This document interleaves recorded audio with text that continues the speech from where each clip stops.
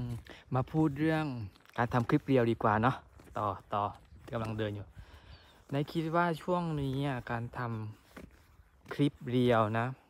คลิปเรียวไม่ว่าจะคลิปเรียวหรือว่าคลิปยาวมันก็ช่วงนี้รู้สึกว่ามันจะตันตันๆยังไงไม่รู้ว่ามันจะยอดวิวมันจะไม่ขึ้น หรือว่าเป็นเฉพาะของช่องไหนก็ไม่รู้นะ เพราะว่าเดี๋ยวนี้เหรอ อืม ลงคลิปไปมันเหมือนก็เหมือนยอดวิวไม่ขึ้นเลยนะ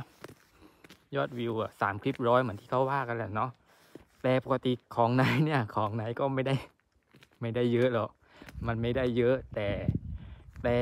ไม่ได้เยอะก็มาอ่าในที่นี้ก็บางบางทีพอไหนลงคลิปไปก็วันหนึ่งมันก็ต้องมีแล้วแหละร้อยสองร้อยนะวิวยอดวิวอะ แต่เดี๋ยวนี้อะสามสี่สามสิบสี่สิบวิว มันก็เลยไหนก็เลยคิดว่ามันแปลกแปลกมันตันตัน หรือว่าช่องไหนโดนปิดกั้น แต่มันก็มีอยู่คลิปสองคลิปนะที่เขากำลังอะ มันก็วิ่งอยู่นะ คลิปที่อะดัง ๆ ของนายคลิปหลักแสนน่ะ มันก็ยังวิ่งนะ แต่คลิปอื่นไม่วิ่ง คลิปอื่นมันไม่ได้มันไม่ไปเลยยอดวิวอะ ไม่รู้ว่าเป็นเพราะอะไรเนาะ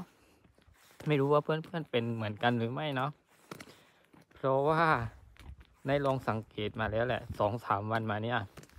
ยอดวิวไม่วิ่งเลยค่ะ อืมนายก็ต้องเป็นกำลังใจสำหรับครีเอเตอร์มีมือใหม่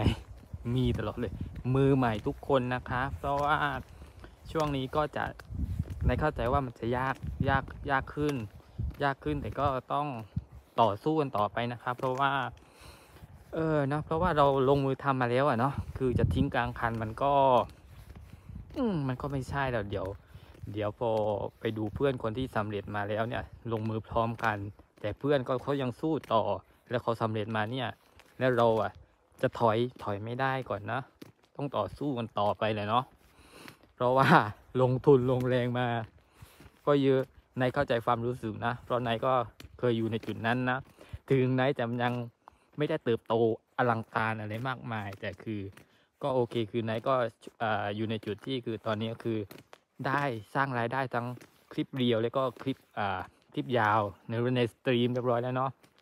ก็คือนายก็ ก็ต้องสู้กันต่อไป เพราะว่าในเข้าใจในจุดที่กว่ารอกว่าที่เราจะได้สร้างรายได้เนี่ย มันนานมันนานเสร็จเริ่มท้อ ทุกคนอะอาการเดียวกันหมดนั่นแหละ แต่ท้อได้แต่เราอย่าถอยนะคะ ยังไงเพื่อนเพื่อนครีเอเตอร์มือใหม่เขาก็เป็นกำลังใจให้กันตลอดเลยเนาะสู้ๆค่ะ